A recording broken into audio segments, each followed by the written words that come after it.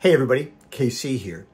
So the Wall Street Journal has a story this week um, about what I think of as both the misguided and misinformed influence of influencers. Basically, what they're saying is there's this theory, or whatever you want to call it, currently uh, circulating in social media, where influencers are making the point that A, the sun does not and cannot cause skin cancer, and B, sunscreen does cause skin cancer. I don't even know what to make of this. You know, the Wall Street Journal makes the point. Listen, dermatologists have, this is pretty well informed, right? Uh, overexposure to the sun can cause skin cancer and people have to be careful about it. But in this case, the, the misinformation that these influencers are spreading, this can cause people to get sick. This can cause people to die. And uh, listen, we can have a reasonable conversation about how much sun you should get and you know, should you be using 15 or 30 SPF? And, you know, listen, the sun can be healthy. But speaking as someone who's had a, a bit of skin cancer, yeah, this stuff uh, is dangerous when people start to spread it around. Um, there's even uh, people out there on the internet, about a quarter of adults, according to research, um, say that uh, under 35 think that drinking water can help ward off sunburns. Keeps you hydrated, but it doesn't ward off sunburns. But listen, this is just one of many things that people are misinformed about.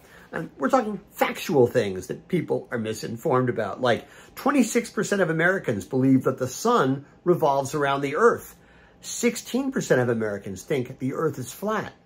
Um, now, we can, this is, this gets into the theological.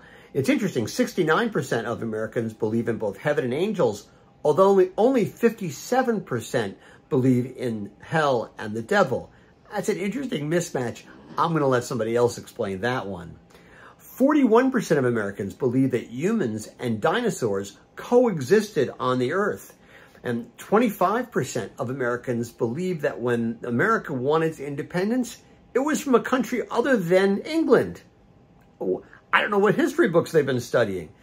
And don't even send me down the road to talk about vaccines. I don't even want to go down that rabbit hole. You know, the problem with influencers is that they basically are spouting off about something they know nothing about. And in some cases, they're being actually compensated to spread misinformation and disinformation. And it's, it's just crazy. And like I said, you know, this, I, I often say here, this is sort of a problem with the whole social media industrial complex. It thrives on this kind of crap. And it's somebody, many people are going to get hurt. Now listen, the thing is, is, and some people are out there writing, well, you're kind of an influencer in what you do. And I would never describe myself that way. I'm a pundit, right? I express my opinion and I try to always label my opinion as such. Um, I learned a long time ago to try not to talk about things I don't know anything about. Many, many years ago, long before I started Morning Newsbeat, somebody hired me to go out to New Jersey and give to give a speech to some dairy organization. And they want me to talk about the state of dairy in America. And I can remember doing an enormous amount of research to figure out uh, what I was going to talk about in that speech. And about 30 seconds into it, realizing that I was the person in the room who knew the least about dairy.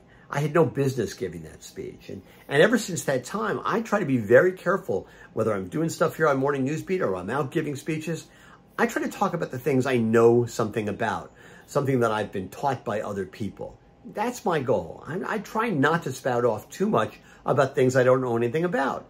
You may disagree with me on a lot of issues, but I hope, like to think these are matters of opinion. And when I get the facts wrong, I try, I stand corrected. I'm happy to admit when I get something wrong. Um, you know, but the problem is, you know, we're in a situation right now where, you know, as a nation, we've lost uh, trust in authorities. We've We've lost belief in inconvenient facts and we've lost faith in science. And what really, really concerns me is I don't know how we come back from this because I just think it's like Robert Bolt wrote uh, in A Man for All Seasons, seasons in a speech that he gave to St. Thomas More.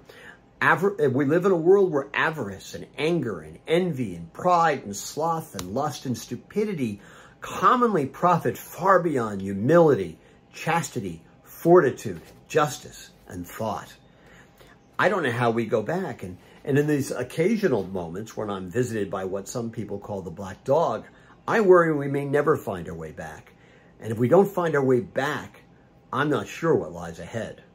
I think it's got to be a, a it's got to be an issue we need to think about, and that institutions have to worry about, whether you're a governmental institution, a scientific institution, or a business institution like a supermarket or any kind of retail store.